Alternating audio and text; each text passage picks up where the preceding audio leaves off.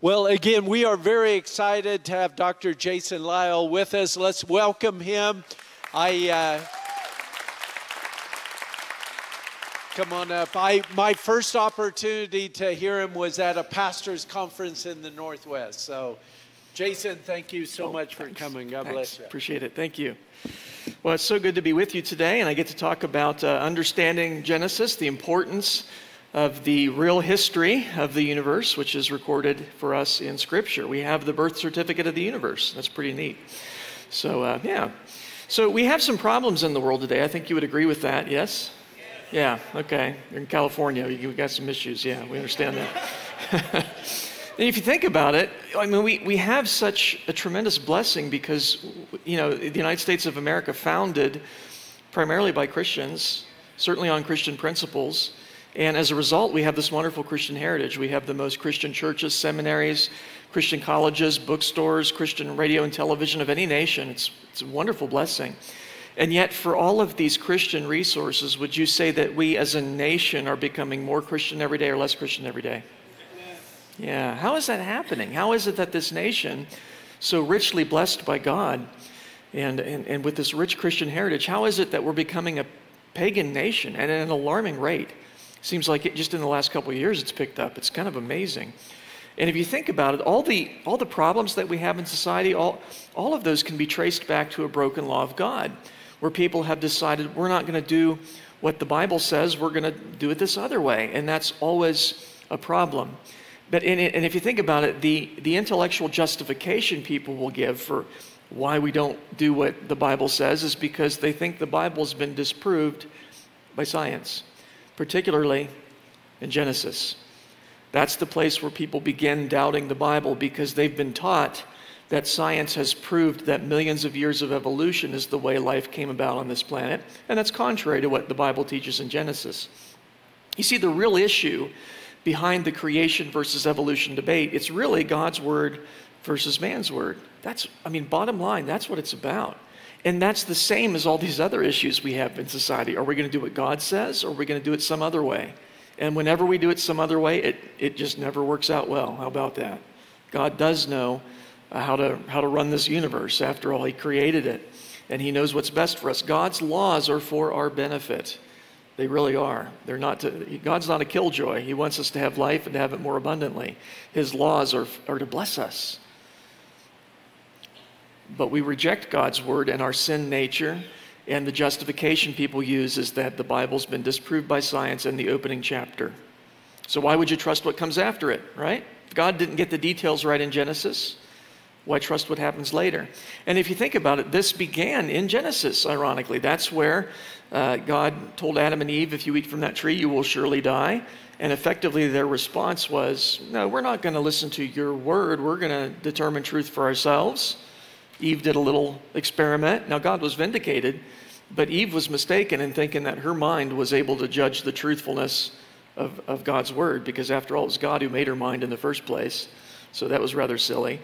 But she, she disobeyed uh, the King of Kings and Lord of Lords, and Adam followed suit, and Adam was given dominion over the world. The world fell as a result of Adam's sin.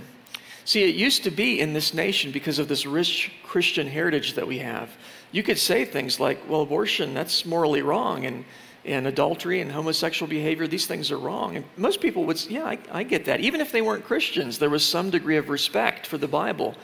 You know, the good book says this. But today, that foundation has shifted. Today, you say abortion's wrong, homosexual behavior's wrong, adultery's wrong, and people will say, not according to my rules. Because they're not even remotely standing on God's word anymore. They've shifted to this other foundation, and that's a problem. And when I talk about evolution being the foundation for that, what, I, what I'm referring to is the sort of the Darwinian idea that all life is descended by, from a common ancestor over millions of years of mutations and natural selection. So as animals reproduce, they reproduce animals that are a little different. Well, by the way, I don't disagree with that. You can get differences in animals, but I don't believe that one kind changes into another. And so mosquitoes are always going to be mosquitoes, unfortunately, and uh, dogs are always going to be dogs, and so on. And so they can't really change. I don't believe that I'm biologically related to a turnip, right? I believe we're biologically related to each other. We're all descended from Adam and Eve. But the evolutionists believe that, that broccoli is their distant cousin. And I, I, I, mentioned that one time. I was speaking to a group of atheists, and I said, you know, I said, you know, you realize in your worldview, you believe that you're related to broccoli. That's your distant cousin. And one of them uh, came up afterwards and said, weren't you kind of making fun of, fun of us for saying that? And isn't that kind of inappropriate? And I said, well, isn't that what you believe? He said, well, yeah. I said, well, there you go then, right? Don't shoot the messenger. I'm just repeating back to you what you claim to believe. If it sounds silly, reconsider your belief, right? I don't believe we're related to broccoli. I believe we're related to each other. We're all descended from Adam and Eve. And what you believe about origins will have consequences for your other beliefs. If creation's true, you're going to have laws. Because it's in Genesis we learned that God gave instructions to Adam and Eve about what to do and what not to do. And so you have law, and God has the right to do that because He's the creator. We learn that in Genesis. In Genesis, we learn that there is a penalty for disobedience to God's law in Genesis, we learn what that penalty is it's death, right? And, and people, boy, that's, that seems kind of harsh. Not when you realize the holiness of God, right? I mean, sin is open rebellion, it's treason, high treason against the King of Kings and Lord of Lords. Treason is a capital offense, so it, it does make sense. Uh, but we, we learn that all in Genesis laws, the idea of a lawgiver, and the idea that there will be justice done, that God is just. And of course, we've all broken God's law and we need a Savior. But my point is the whole idea of laws and justice, and that all goes back to the history recorded in Genesis. Marriage, where do we get the idea that marriage is one man and one woman united by God for life? That goes back to Genesis, doesn't it? God made them male and female, the Bible says. And in, and in Genesis 2, for this reason, the man shall leave his father and mother and, and uh, cleave unto his wife, and they shall be one flesh. So that's where we get the idea of marriage. God created the family unit, so he gets to define what it is. That happened in history. That's where we get this idea of marriage. Or standards, standards of behavior, standards of clothing. I noticed you're all wearing clothes today. I appreciate that. I'm sure you do too. Originally, it wasn't that way. But where do we learn about the origin of clothing? It's in Genesis 3. It's right there. Or meaning of life. Why is it that human life is special and has has value to God. Now, God cares about animals too, but the Bible says we're of more value than many sparrows. God really cares about us. Why? What makes us unique and special? We're made in God's image. That is a unique privilege. And where do we learn that human beings are made in God's image? It's in Genesis, isn't it?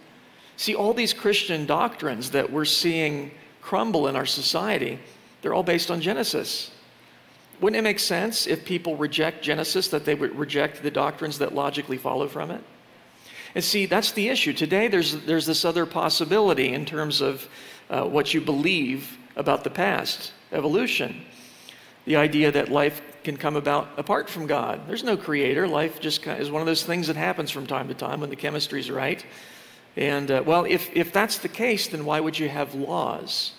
If there's no lawgiver, why, why would you have laws? Right? Evolution is supposed to work by the strong dominating over the weak, and yet laws are designed to protect the weak from the strong. They're anti evolutionary by their very nature, aren't they? So that's not, that's not going to work. Or, or um, why not do what you want with sex for that matter? If we're just animals, animals pretty much do what they want, why shouldn't we? Huh. Or abortion. Get rid of spare cats, get rid of spare kids. Why not? In an evolutionary worldview, where we're just rearranged pond scum, why not get rid of rearranged pond scum that you don't like? So you can see, and by, and by, the way, I'm not suggesting that evolution is, is the cause of all those social ills. Uh, sin is the cause of those social ills, but I am suggesting that people, that evolution gives people a way to try and justify that sin in their minds. Because you can't justify things like abortion if, if you understand that human beings are made in the image of God. That's not going to work. And so we need to recognize our foundations are under attack in Genesis. In the minds of many people, you, you can't trust in Genesis, and therefore you can't trust uh, the doctrines that would logically follow from it. And a lot of Christians get intimidated, right? Because we got, they're very intelligent people who believe in evolution. I don't deny that. There are some brilliant scientists who believe in evolution. There are brilliant scientists who believe in creation, by the way. But we get intimidated, and a lot of Christians think, well, we can't um, maybe evolution's the way God did it. I mean, it's got to be true with all these smart scientists uh, believing in it. And so a lot of Christians try to kind of merge the two. They, they want to say, yeah, I, am a Christian, but I, I believe in evolution. I think that's the way God did it. But then Genesis wouldn't be real history, would it? It can't really be justified that way. And a lot of Christians say, well, well Genesis, it's, it's true, it's just not literally true. It's not meant to be taken literally as real history. Maybe it's like poetic or more like a parable. A lot of Christians try to argue that so they can believe in evolution and still uh, profess faith in Christ. So, but, but here's the problem Genesis is not written as a, as a parable or as, a, as poetic literature. In fact, if you look at the genealogies, like in Genesis chapter 5, where you have, in so and so begat so and so, and they begat so and so, those kind of boring uh, genealogies that you find there in Scripture. Well, those, those verses are there for a reason. They're there to tell us that these are real people that lived. And it tells us their names and the names of at least one of their children and all kinds of incredibly boring information, right? That's not, that's not what you would do with a parable. Jesus often used parables in his earthly teaching ministry. And uh, uh, a parable is where you take something physical that we're all familiar with, and then you use that to explain a spiritual principle. And, it's very, very effective. But for that reason, you want to make the story as short as possible. You, you wouldn't have detailed genealogies in parables. Usually, you don't even have specific names. Usually, there was a man or there was a certain king or what have you. You wouldn't have a list of fictional people in a parable. That wouldn't make any sense. Nor is Genesis poetic in nature. It's, it's very easy, by the way, to recognize Hebrew poetry. It's, it's different from English. We tend to focus on rhyme and meter, right? But in Hebrew, poetry is based on parallelism. That's the key distinguishing feature of Hebrew poetry. And that's where you have two or more statements that kind of go together. There's different forms of parallelism. One of them is synonymous parallelism, where you'll say something and you'll say kind of the same thing using different words. Psalm 19:1, "The heavens declare the glory of God; the skies proclaim the work of his hands." See how it says kind of the same thing using different words? That's Hebrew poetry. It's beautiful. You will not find that in Genesis, right? In fact, that would be a pretty terrible poem, wouldn't it? See, I, I, recognize that the Bible does contain different types of literature. It does contain poetic literature in the Psalms and Proverbs, but it's easy to recognize that. And, and, and I'll grant, in those, in those sections, there are figures of speech that are not meant to be pressed in a wooden literal sense. When the Bible says there's no rock like our God, it doesn't mean he's basalt or igneous. He's not literally a rock. We understand that. It's a metaphor. But Genesis is written as history, and that is meant to be taken literally. There's no doubt about that. And by the way, those genealogies lead up to Jesus Christ. And so here's my question then for Christians who say, I'm a Christian, I believe in Jesus. Praise God, I'm glad you do. But then they say, I think Adam's just a metaphor. Uh, how, how can Jesus be descended from a metaphor? Right? A real person can't be descended from an imaginary person. That's not going to work. It's theologically important that Jesus Christ is descended from a real Adam, and so are we all, the Bible says he's made of from one blood or from one man, all nations, right? We're all descended from Adam. That makes Jesus our blood relative. You are related to Jesus. And that's awesome because, according to biblical law, only a relative can save you. There's an important concept in the Bible, the concept of the kinsman redeemer, where it has to be a relative, a blood relative of yours that can take, that can take your place, that can pay your penalty. That's why Jesus had to be man. That's why God took on human nature. He became one of us so that he could pay, he could take our place on the cross. That's why his blood counts for ours, because we're all of one blood. Jesus is man, and therefore he can pay for our, our sins. And because he's also God, he can pay an infinite penalty. It, it makes sense, but only if Genesis is real history. See, the Bible says the blood of bulls and goats cannot take away sins. Hebrews chapter 10, verse 4.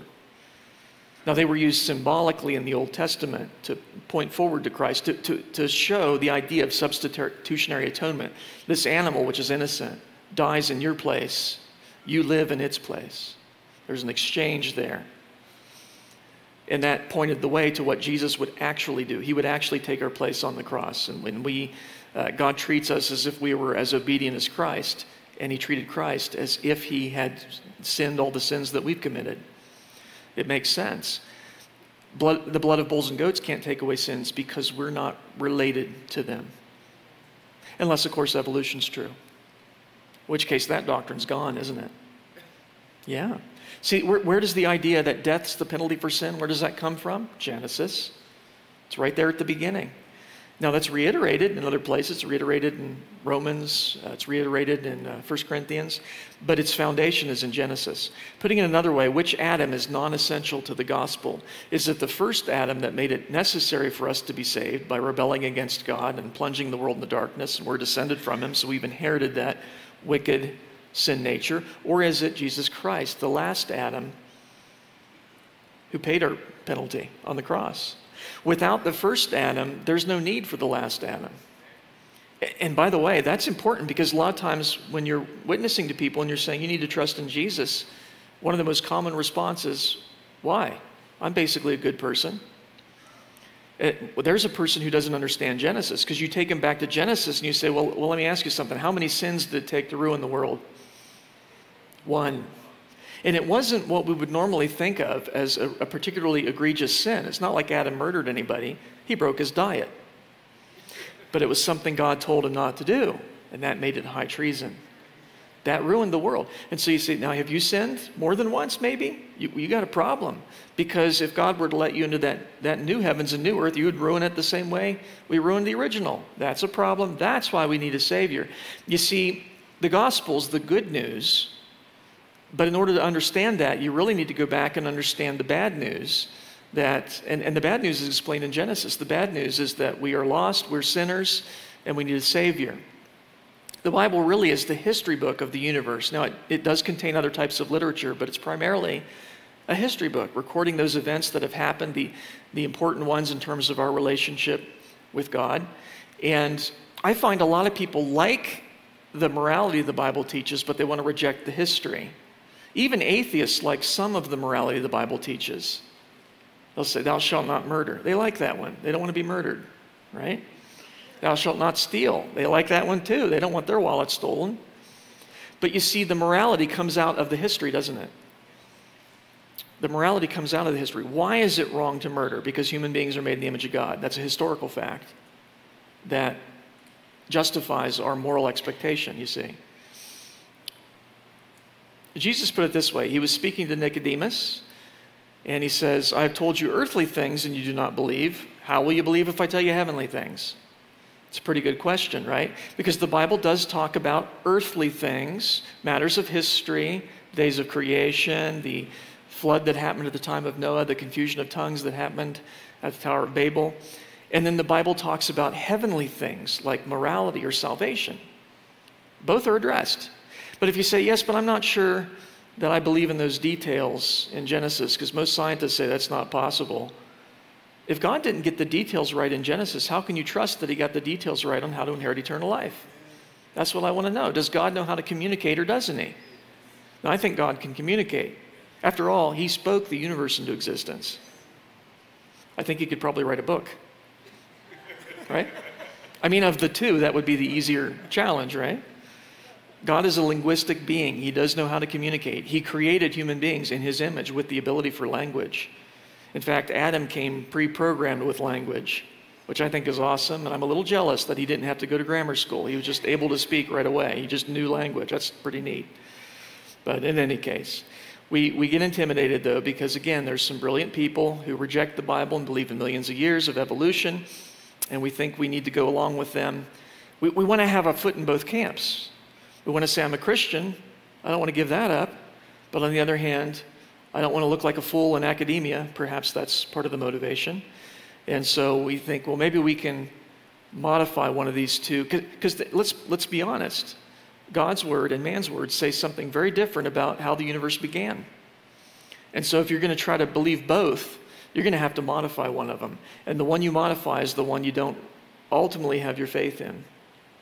And, and by the way, the Pharisees and Sadducees, they were masterful at reinterpreting God's word to fit with their ideas, their, the, the popular ideas of their time. And Jesus would not have any of that. He would take them back to the scriptures. It is written, have you not read? Take a look in Matthew chapter 15 if you want to see a very harsh rebuke uh, by our Lord Jesus regarding the Pharisees and Sadducees reinterpreting God's word to fit their traditions.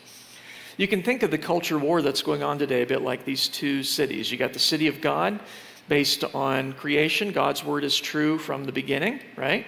And, um, and then, of course, you've got uh, secular humanism. Secular humanism is the other big faith system in our culture today, in our society.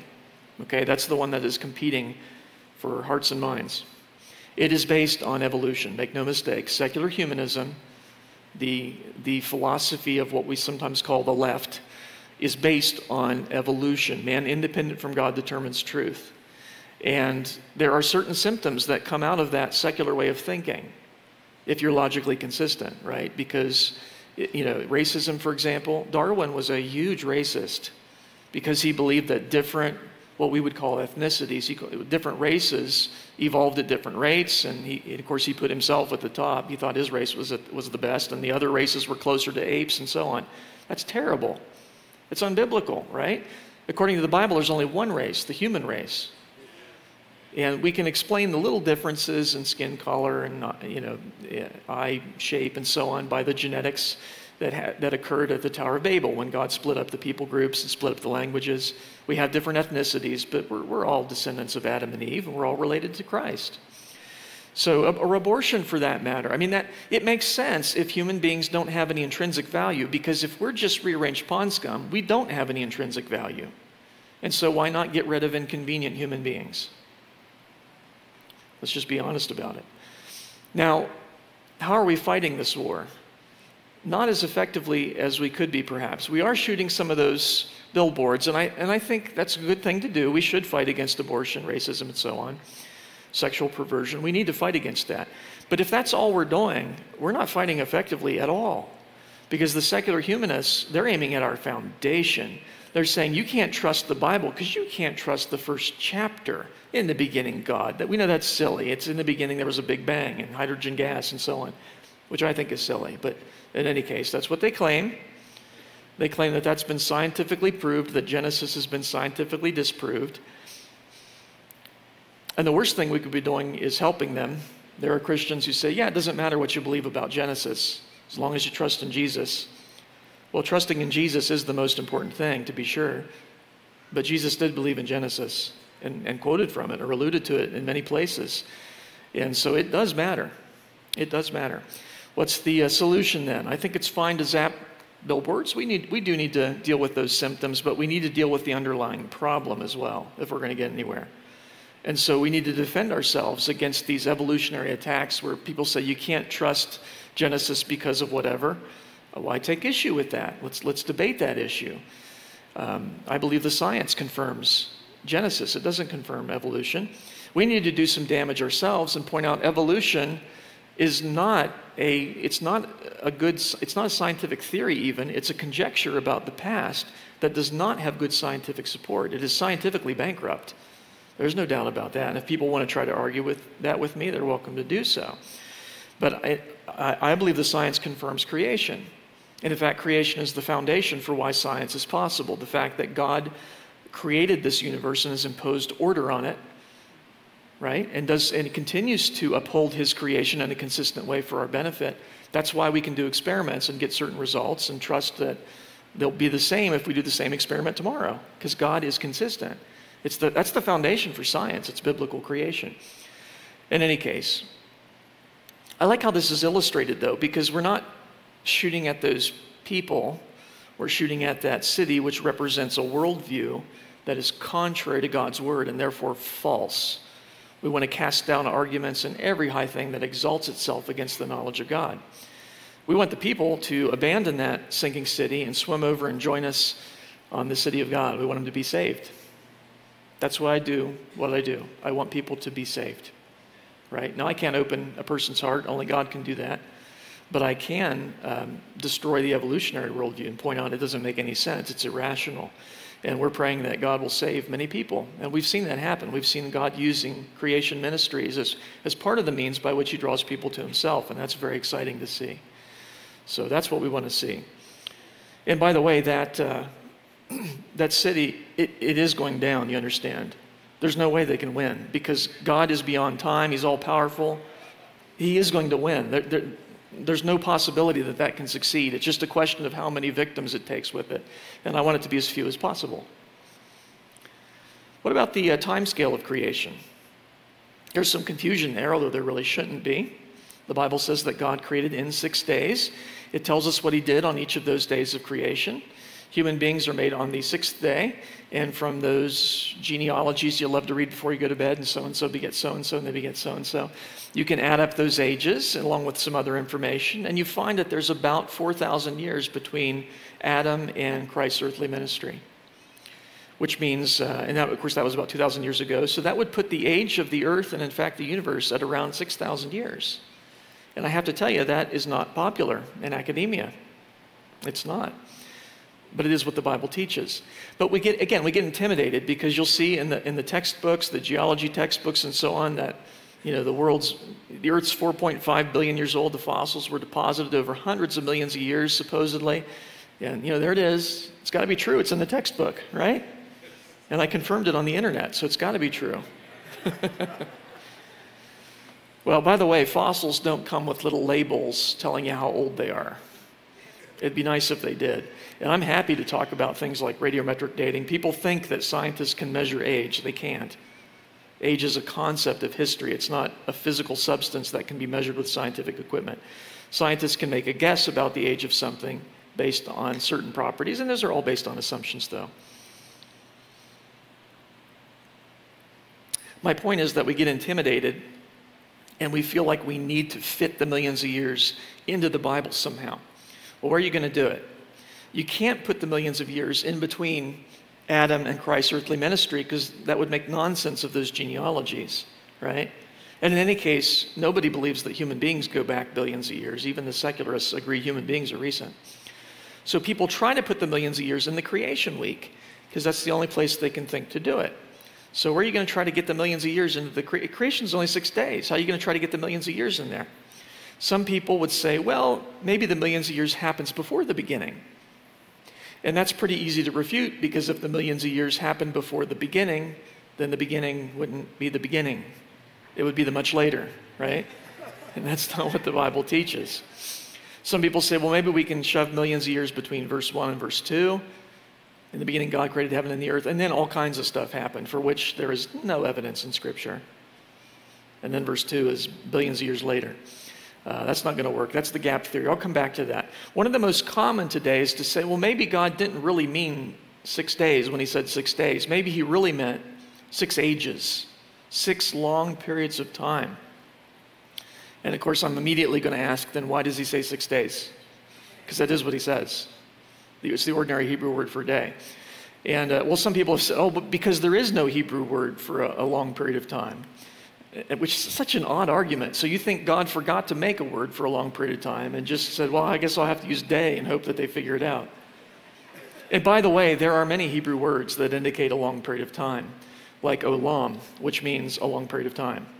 So God could have used that if he'd have wanted to, okay? Now, there's no scriptural support for this idea that the days are long periods of time, but people will try to pull verses out of context to try and support that, like 2 Peter 3.8. People say, but Dr. Lisle, the Bible says in 2 Peter 3.8 that one day is with the Lord is a thousand years. So see, they might have been long periods of time. It's funny, they only quote the first part of the verse. What's the rest of the verse say? One day is with the Lord is a thousand years, and a thousand years is one day. It goes the other direction. People only try to pull the first part out to make time longer. They never take the second part out to make time shorter. Right? Like, I mean, the Bible indicates about 2,000 years between Abraham and Christ's earthly ministry, but hey, with God, a thousand years is a day. It's really only 48 hours. Well, that would be nonsense. Is this verse telling us that God is just really confused about time? God created time. He understands it better than any of us do. Einstein made some wonderful discoveries about the nature of time that were unknown before him. And there's perhaps other things we still haven't discovered about time, but God knew them from the beginning. One of, the, one of the things that God can do is He can declare the end from the beginning. According to Isaiah 46, that's part of the trial of the false gods. False gods can't do that. The biblical God can because He's beyond time. He created it, therefore, He does understand time. This is not, and by the way, when you read this in context, Is it referring to the days of creation? No. When you read it in context, it's referring to God uh, seemingly delaying judgment so that many people can be saved. It's explaining God's patience by pointing out He's beyond time because He made time. He's not trapped within it. God can step into time and do things as He's done, but He is not bound by it, right? It's not giving you permission to change the word day everywhere you see it in Scripture to a thousand years. And by the way, that wouldn't get you anywhere. The, that would make the earth 12,000 years old instead of 6,000. It doesn't get you anywhere close to the 4.5 billion that the secularists need. And you understand, they have to believe that in order for evolution to sound even remotely plausible. That's the motivation for it. The Hebrew word for day is yom. It's used over 2,000 times in the Old Testament of the Bible in singular and plural form. Plural form is yamim. Why is it people only question what day means in Genesis? Isn't that true? I mean, do people have questions about other days in Scripture? Like, how long was Jonah really in the belly of the great fish? Where I think they were ordinary days. So I think they might have been millions of years. He might have been in there for a long time, right? Days like a thousand years. You could just imagine. I mean, for some reason, that people don't seem confused by that. Or how long did Joshua really take to march around the walls of Jericho? Somebody says, I think they were ordinary days. Oh, I think they were millions of years. He might have been going around for a long time. Mean, who knows what day means, right? The, the, the definition of yom, it really is day. That's the main meaning of it. Now, any word in, in poetic literature can take on a secondary meaning. There's no doubt there. And that includes yom. It, it can mean when used poetically, and non literally, it can mean a long period of time. Uh, usually, when used a, with a prepositional phrase like the day of the Lord, I think that's more than 24 hours. But it's being used non literally. The same is true of our English word for day. So there shouldn't be any confusion here because we can use our word day to mean a period of time longer than 24 hours. You might say, back in my father's day. That means a period of time, doesn't it? Yeah. So back in my father's day, it took three days to drive across Texas during the day. So you got the word day used three times, and I'll bet you didn't have any trouble understanding it because you used context. You used the surrounding words to constrain the meaning. Isn't that right? I mean, if you think about it, most words have more than one meaning. I mean, t- pick any word you want to, look it up in the dictionary, and you will, you know, definition one, definition two, sometimes definition 2A, 2B, 2C, and so on. Just about every word has more than one definition. If you think about it, it's amazing we can communicate. How do we know which meaning is in play? Because in a well constructed sentence, only one meaning for each word makes sense. Context is how we figure out what the word means. Now, occasionally somebody will come up with a, an ambiguous sentence where two or more meanings are equally likely, and those are usually funny. Uh, so if I said, you know, the, you know, the student center is giving away free guitars, no strings attached. I'd say, oh, okay, yeah. That can mean one of two things. That's an amphibole. But um, usually it's pretty easy, right? Back in my father's day, that would be a period of time longer than 24 hours. It took three days. Those would be three Earth rotations because it's got a number with it. It would be three periods of time. That wouldn't make sense. To drive across Texas during the day, that would be the light portion of an ordinary day. It's very clear from context. So let's take a look at the Hebrew word day, yom, outside of Genesis 1, where we all agree what it means and we'll see if context uh, can clue us in. For example, when the word day is used in context with a number, like the first day, the second day, the third day, the fourth day, in all the historic, historical narrative sections of Scripture, it always means day. That happens over 400 times outside of Genesis 1. We all agree those are ordinary days. Of course, if I said on the third day he went up to such and such a city, you'd know I'm talking about on the third earth rotation. We get that if I said there was evening and then there was morning, if the word day, even if the word day isn't there, what's an evening plus a morning? It's a day, right? That's, those are the boundaries of a day. And so we get that. That happens 38 times outside of Genesis 1, and we all agree those are ordinary days. If I said there was evening that day, you'd understand that's an ordinary day. Or if I said there was morning that day, you'd understand I'm talking about an ordinary day. Evening with day or morning with day, that happens 23 times each outside of Genesis 1, and we all agree those are ordinary days. If I said there was day, then there was night. Day contrasted with night. You'd understand I'm talking about an ordinary day. So it's pretty clear. So you, you have the contextual clues here day with a number, evening and morning together, evening with day or morning with day, and day contrasted with night. Any one of those indicates you're dealing with an ordinary day, uh, the literal use.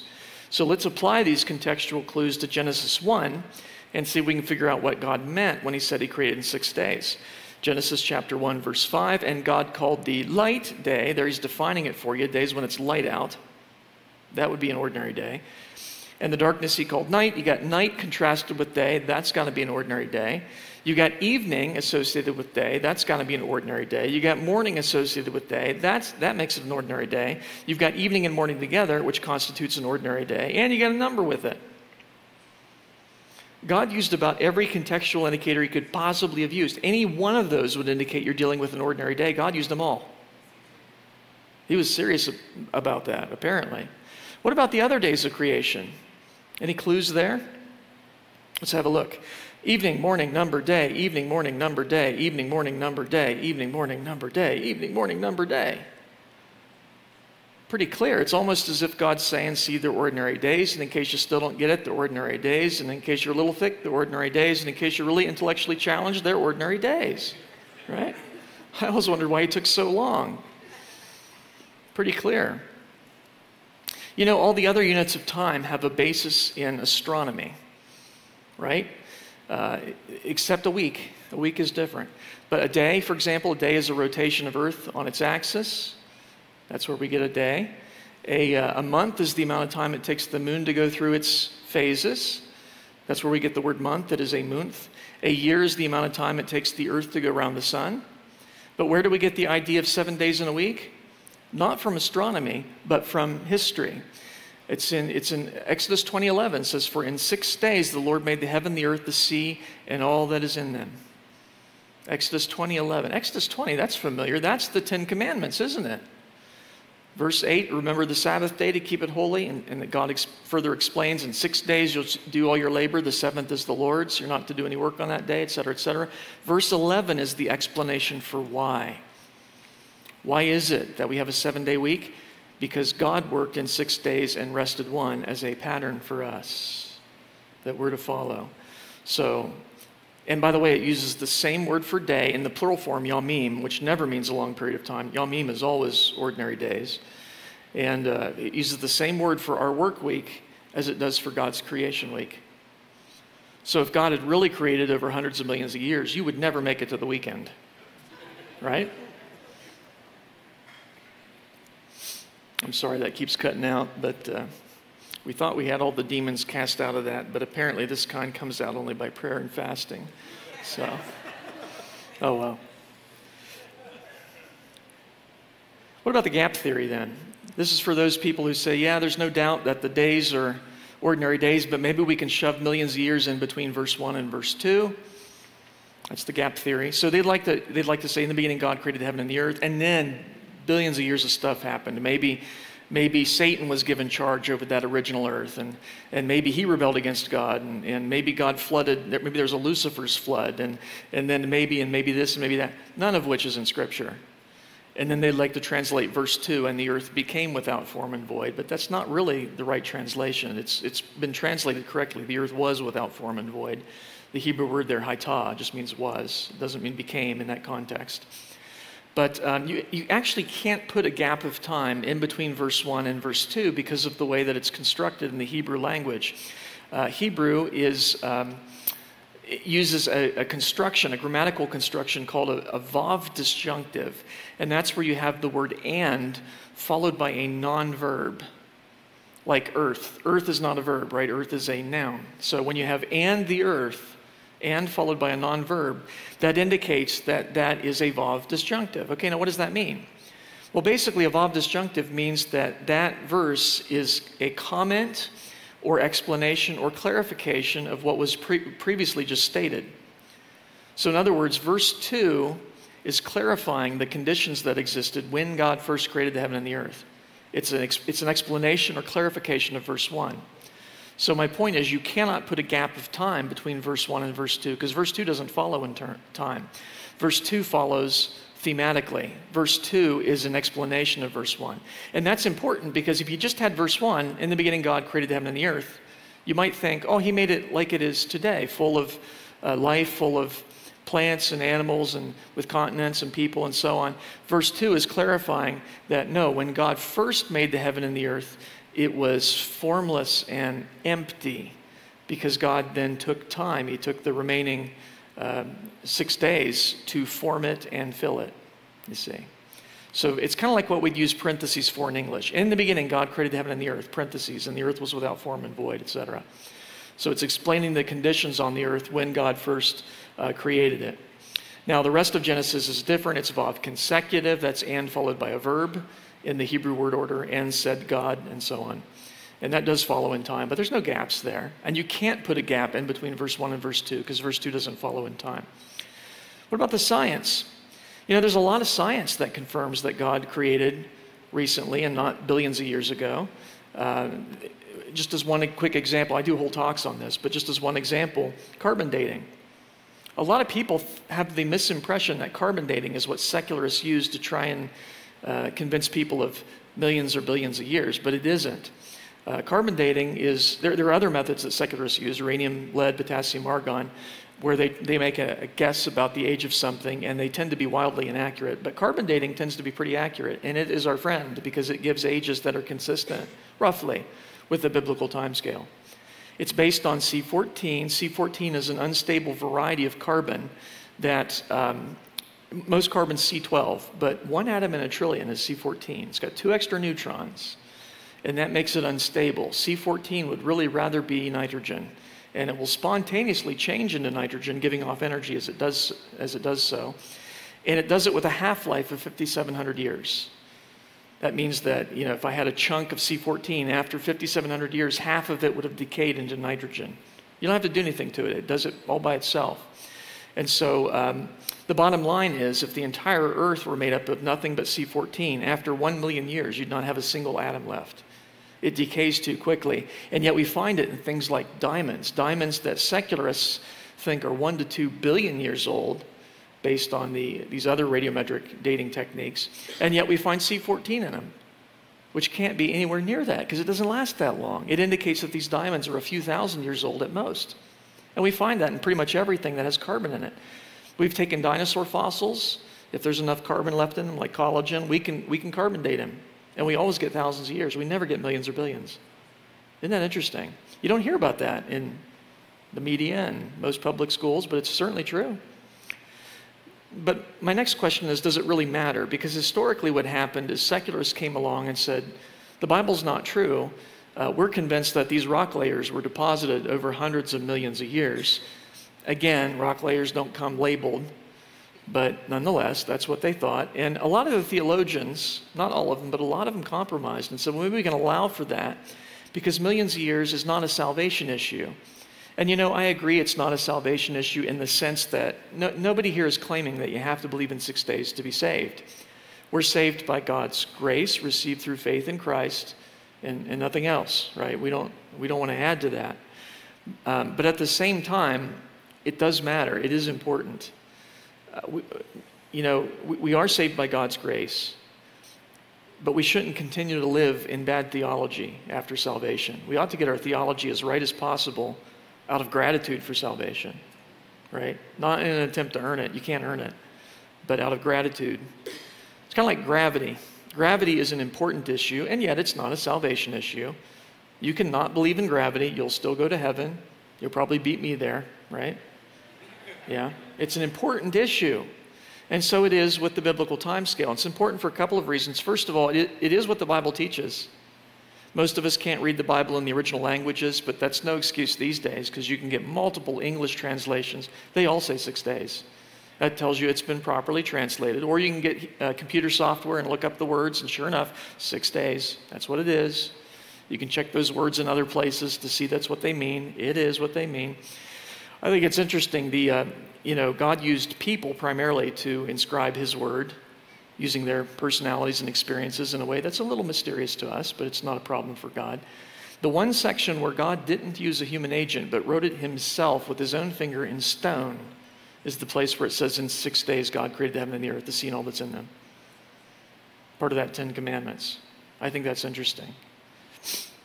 The same Bible that teaches God created in six days also teaches things like the virgin birth of Jesus Christ, that Jesus turned water into wine, that he walked on water, calmed the storm, raised the dead, raised himself from the dead. Same Bible teaches all those things, right? And yet many people think, yes, but most scientists say six days of creation is not possible. I'm going to reinterpret that section as poetic or, or what have you, but as non literal. Well, I got news for you. Most scientists would say a virgin birth in human beings is not possible. Uh, walking on water is not possible. Resurrection from the dead is not possible. Are you going to reinterpret those portions as non literal? Because the literal resurrection of Jesus, that is a salvation issue. If Christ is not raised, you're still in your sins, your faith is in vain. The Bible directly says that. Now, some people say, oh, but that list on the right there, Dr. Lisle, those are, those are miracles. And so they're not constrained by the scientific method. I agree. But wasn't the creation of the universe a miracle? If not, I'd like to see you do it. There's another reason why we don't want to add in the millions of years, and that concerns these fossils that we find all over the earth. And we do find fossils all over the world. I'd expect that. There was a worldwide flood. It's going to kill organisms, bury them in sediment. I'd expect that. But the secularists believe that no, there was no worldwide flood. The fossils were deposited gradually over hundreds of millions of years. If you hold up a fossil and you say, yeah, this is 100 million years old, you've got a huge theological problem because a fossil is a dead thing. And if you got death 100 million years ago, you've got death before Adam sinned. In fact, you got death before Adam existed. But wait a minute, doesn't the Bible say that death came into the world as a result of Adam's sin? By man came death? Isn't that what the Bible teaches? that it's an enemy that was introduced when Adam sinned. But you see, if you believe in millions of years, even if you don't believe in evolution, but you say, I think maybe God created over hundreds of millions of years of death and so, struggling and so on, you've got by death came man. Which is it? By death came man or by man came death? You can't have them both ways. Those are logically contrary positions. When God first made the heaven and the earth, he saw everything he had made, and behold, it was very good, the Bible says. It wasn't just the Garden of Eden. God saw everything he had made, and behold, it was very good. But if God, had, you know, if animals had been living and dying and killing each other for millions of years, and then God finally got around to creating Adam and Eve and said, oh, it's all very good. That means you got the Garden of Eden sitting on top of millions of years of death, struggling, disease, bloodshed, and so on. That's a problem. You know, we find fossils with evidence of disease in them things like arthritis, cancer, even. There's a field called paleopathology that studies evidence of disease in fossils. Were those diseases already in the world when God looked at it and said, oh, it's very good? No, that wouldn't make sense. Because if that were the case, then that would mean disease is very good. So why would you bother praying for your sick friend? It's very good that they're sick, right? No, Jesus healed the sick. He temporarily reversed the curse, and he will in the future permanently reverse the curse. Now, some people say, oh, but I think it was just human death that was introduced when Adam and Eve sinned. But I don't think you can defend that biblically because when, when Adam and Eve sinned and God confronted them, he then provide, he, um, provided skins to cover their nakedness, right? Because they tried to cover their own shame and they, that was insufficient. So God provided skins of clothing. Those would be animal skins, which means God killed an animal or animals to provide those clothing, that, that clothes for Adam and Eve kind of a picture of the gospel, isn't it? Bible doesn't say what animal he used. I always thought maybe it was a lamb. That would make sense. Kind of point the way to the lamb who would actually pay for sins. So, but in any case, uh, no, God instituted animal death when Adam and Eve sinned. And people say, well, that's unfair. Why do animals have to suffer when Adam was the one that sinned? Because God gave Adam dominion over all the animals. He had authority over them, and that is the nature of authority when someone is in authority and they do something wicked or stupid, it affects everyone under their authority, right? You're in California, you know this, right? Yes, we get that. Now, some people would say, oh, but I think it was just, uh, I, I think, you know, that I got you here because you had to have plant death before Adam and Eve sinned, right? Because presumably they were eating plants or plant parts. Because modern biologists classify plants as living. But the interesting thing is the Bible doesn't. The Bible does not classify plants as living, it uses a different system.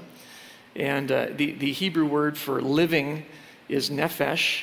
It applies to human beings and animals. Human beings and animals are nephesh, nephesh kai, living creatures. It's never applied to plants. It's never applied to plants. Plants are not referred to as nephesh kai anywhere in scriptures. They're classified as food for, for living creatures. And so, um, and we sort of know that. We know plants are in a different category. They're not alive in the same way we are, in the same way that animals are, right? We, we get that. You can talk about a dead plant, but it was never, it was not, not like it was ever really conscious or anything like that. You can talk about a dead battery. It was never really alive in a literal sense, right? And we sort of know that. You come across, if you come across a dead tree, you think, well, that's pretty nice, I, you know, that works. But if you come across a dead animal, there's something disturbing about that because that's an intrusion into a world that was once uh, perfect, that was once very, very good according to God's own standard. Did you know you can't consistently believe in millions of years and a worldwide flood? Because either those fossils were deposited over hundreds of millions of years or they were deposited primarily by that worldwide flood. You can't have it both ways. And so uh, I think it's interesting. Folks who believe in billions of years tend to reject a worldwide flood. There's a prominent teacher over in Pasadena, actually, who teaches that. He says, Oh, there was a Noah's flood, but it was a local event limited to the Mesopotamia Valley. Well, I'm sorry, but that's not what the Bible says, right? Genesis 6:17, God speaking, and behold, I, even I, do bring a flood of waters upon the earth to destroy all flesh, wherein is the breath of life from under heaven. Not from the local Mesopotamia valley, but from under the sky. That would be everything. Everything that is in the earth shall die. The waters prevailed exceedingly upon the earth, and all the high hills that were under the whole heaven were covered. Fifteen cubits upward did the waters prevail. The mountains were covered. All flesh died that moved on the earth, every creeping thing, every man. Noah only remained alive, and they that were with him on the ark. By the way, you can't have a local flood that covers the high hills. What would that look like? It would look like that. Local floods don't cover the high hills, right? Because water seeks its own level. Or what was the purpose of the rainbow? God's promise never to send another global flood or local flood? If it was a local flood, and God's promising never to send another local flood, then God's broken his promise thousands of times. But you know what? We haven't had another global flood. Not after that original. Why spend all that time and energy building an ark the size of an ocean liner, taking two of every air breathing land animal, including birds, for a local flood that you knew was coming? Wouldn't it be easier to just, you know, move? Right? Yeah. Yeah, it would. So, this is why we do what we do at the Biblical Science Institute. We want people to be saved, we want them to have confidence in God's Word because you can. And most of the other uh, presentations I do and resources I have show how science lines up with a literal historical Genesis. That's why we have these resources. Uh, some of the resources that we have in the back, and by the way, the checkout will be over on that side by the banners, so you can, you can pick them up anywhere. But um, we have this presentation, Understanding Genesis, on DVD if you want to get that. A little bit of a slightly longer version than what I did today. I've been told that I sometimes talk too fast, so I wrote a book on it, and I wrote it really slowly. So you can take your time with that, and hopefully that'll hopefully that'll make sense. Ultimate proof of creation. I'll be doing that with the uh, students uh, tomorrow, actually, at least um, uh, one of the sessions. How to give a bulletproof argument for biblical creation. Very powerful. Very different from what you might expect. Doesn't involve a lot of techie science or anything like that. Uh, and then we have that on DVD as well. Stargazer's Guide to the Night Sky, how to better enjoy the night sky from a Christian perspective. That's just a fun resource if you want to know when the next meteor shower is coming up and so on. It's actually not too, it's actually in a couple weeks. So there you go. And uh, a lot of fun. If you want a more an apologetic book, How to Refute the Big Bang in the Billions of Years, this is it Taking Back Astronomy. Uh, we've got one on the physics of Einstein. If you ever wanted to learn about black holes and is time travel possible and stuff like that, truth is stranger than fiction. Keeping, uh, we have Keeping Faith in an Age of Reason. Looks like we're cutting out again. We have Keeping Faith in an Age of Reason, which answers over uh, 400 alleged Bible contradictions. That's kind of fun. And uh, Introduction to Logic. I, I've really, I started to recognize how important logic is, right reasoning that's actually more important than knowing lots of facts, is to know how to think properly, to know how to use facts. And uh, I find that to be a tremendous blessing. And it's something, logic is something that only makes sense in the Christian worldview. Because you're basically, you're thinking, you're learning to think in a way that's consistent with the character of God. And that is wonderful and powerful. So we have Introduction to Logic. We have a teacher's guide for it if you want to get that. I did a Sunday school series called Get Logical where you it goes through the book and it's 10 Sunday school lessons on logic. We have the on uh, DVDs. Um, a lot of great resources. I won't go through all of them, but especially since you. Oh, okay. Is it cutting back in? This is a fun one too. Fractals. You might leaf through that. Every picture in that book, it was not drawn by a human being. It's, it's beauty that is built in that is built into the universe by God in an aspect of creation most people never even have thought about. We have that on uh, Blu-ray and DVD as well. Uh, we, if you wanted to get the best of our books together, we have a book pack. You can get kind of the best of them for a 20% discount, the best of our DVDs for a 20% discount, or the best of everything. That's our library pack. That's a 30% discount. We only do the packs here, here at these conferences. So uh, all the other ones you can get on the website. But uh, if you want to get the packs, that's a good way to do it. And uh, if you wanted to do that, just go straight over to the to the um, banners over there and they'll give you a library pack. We have some children's resources as well, like answers books for kids. Those are wonderful wonderful resources. We do have a free monthly newsletter. As there's a little sign up sheet over there. Uh, make sure you put your email address. It's an electronic newsletter, so if you don't put your email address, you'll get nothing. But uh, do sign up for that. And there's no catch. We just want to bless you. It is a totally free newsletter, and so there's not too many things free in this world, just salvation and our newsletter. So, uh, and then check us out on the web as well at biblicalscienceinstitute.com. And I want to thank you very much for having me out to speak. I really appreciate it. God bless you.